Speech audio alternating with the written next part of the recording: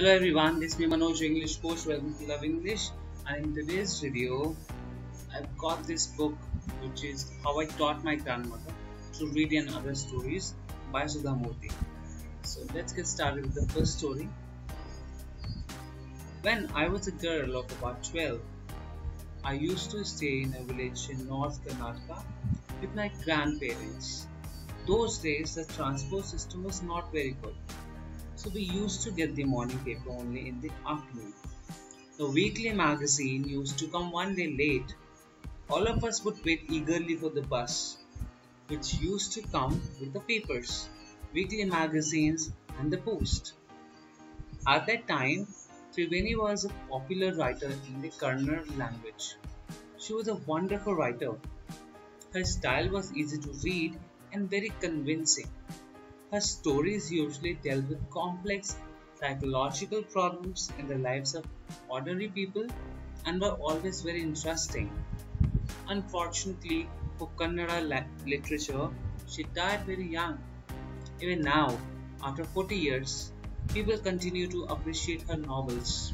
One of her novels called Kashi Yatre was appearing as a serial in the Kannada weekly Karamveer then it's the story of an old lady and her ardent desire to go to Kashi or Varanasi.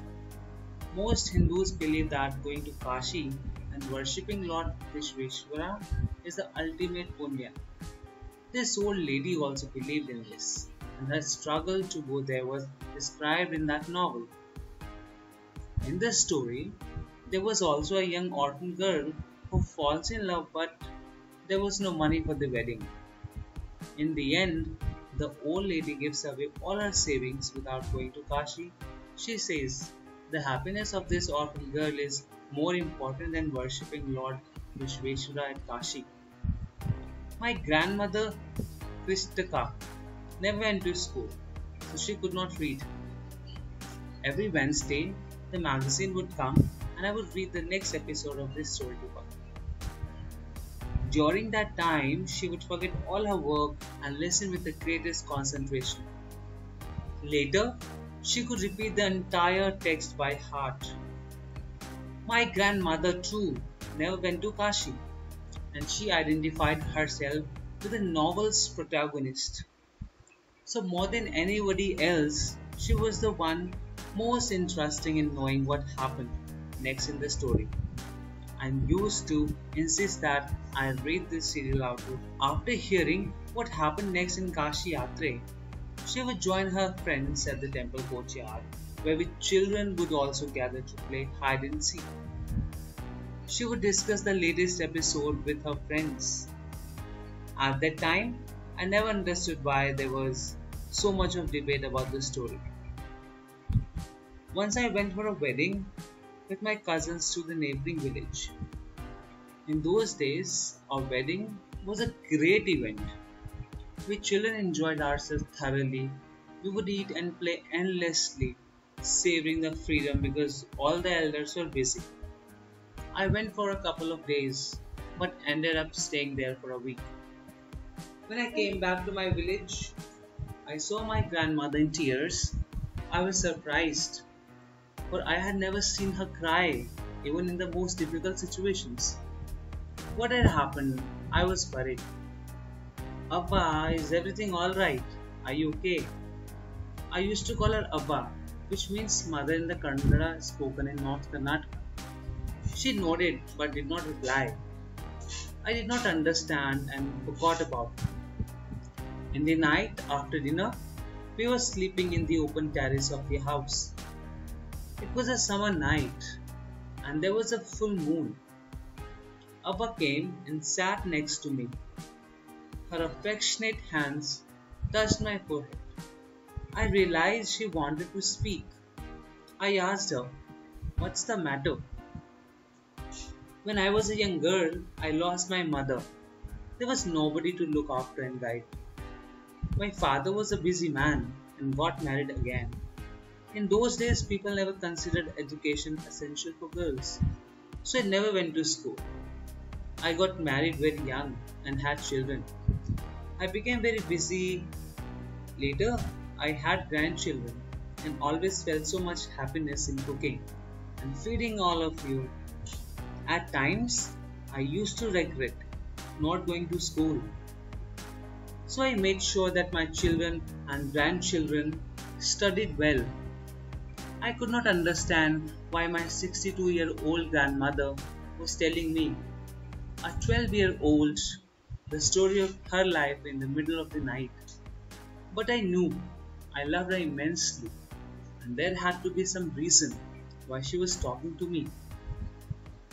I looked at her face. It was unhappy, and her eyes were filled with tears. She was a good looking lady who was usually always smiling. Even today, I cannot forget the worried expression on her face. I leaned forward and held her hand. Ava, don't cry. What is the matter? Can I help you in any way? Yes, I need your help.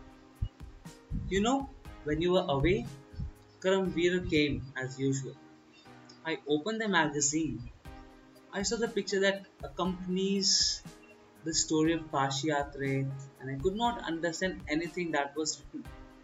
Many times I rubbed my hands over the pages, wishing they could understand what was written but I knew it was not possible. If only I was educated enough. I waited eagerly for you to return. I felt you would come early and read for me. I even thought of going to the village and asking you to read for me. I could have asked somebody in this village, but I was too embarrassed to do so. I felt so very dependent and helpless. We are well off but what is what use is money when I cannot be independent? I did not know what to answer. Ava continued. I have decided I want to learn the Kannada alphabets from tomorrow onwards. I will work very hard. I will keep Saraswati Puja date during Dasara as the deadline. That day I should be able to read. I saw the determination on her face, yet I laughed at her. Abba, at this age of 62, you want to learn alphabets? All your hair are grey, your hands are wrinkled, you wear spectacles and you work so much in the kitchen. Childishly, I made fun of the old lady, but she just smiled. For a good cause, if you're determined, you can overcome any obstacle. I will work harder than anybody, but I will do it. For learning, there is no age bar. The next day onwards, I started my tuition. Ava was a wonderful student. The amount of homework she did was amazing. She would read, repeat, write, and recite. I was her only teacher, and she was my first student. Little did I know then that one day would become a teacher in computer science and teach hundreds of students.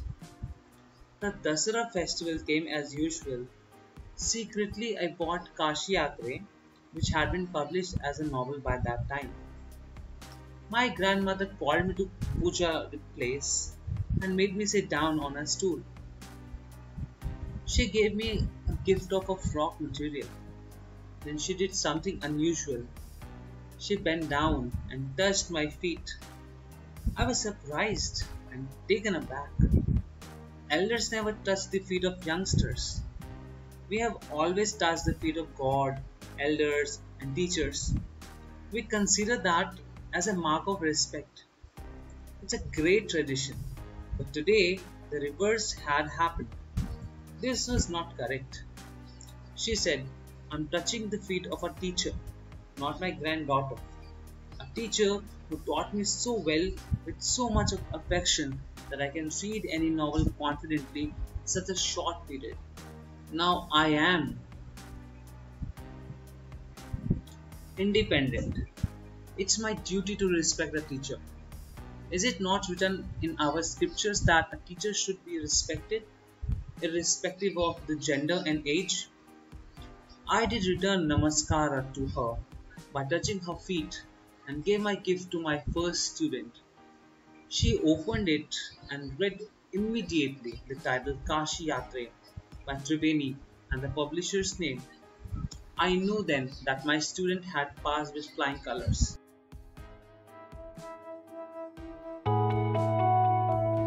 Thank you for attending this session. Do share and subscribe to this channel for more lessons like this. Check out other video lessons by clicking on the video.